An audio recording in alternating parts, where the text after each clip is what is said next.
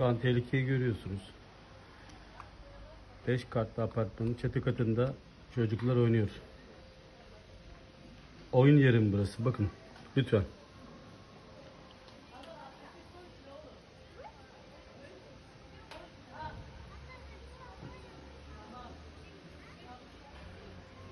Söyleyecek kelime söz yok.